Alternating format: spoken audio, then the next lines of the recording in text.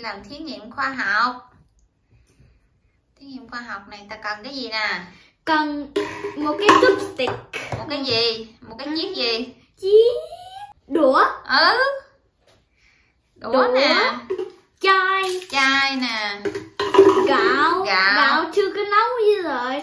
If mình muốn làm một cái muỗng. À muốn thì có cái muỗng nữa. Gạo là chưa có nấu đó cơm mới là nấu rồi thấy không? Rồi Ừ. con con- rồi bây giờ bạn đi kia đổ gạo vô trong chai nè.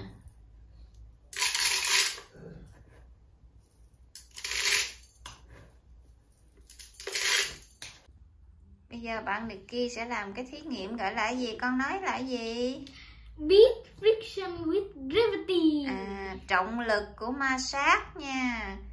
Rồi bây giờ bạn đi kia ghim chiếc đũa rồi. Mà á, mình khỏi phải cầm mà đó mình để nó là gì được có sao mình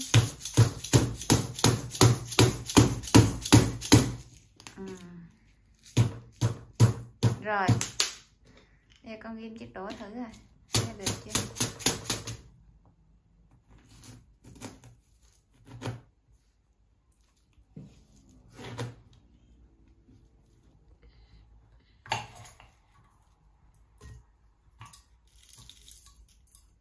Ok á.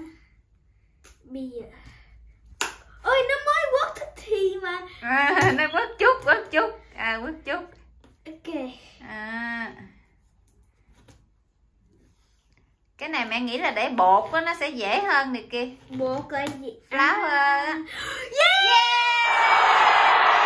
Thành công rồi. Đó trọng lực của ma sát đó Ý là bằng này kia bây nói. giờ mình beat gravity rồi. À. Cái em á là Mục đích là gì?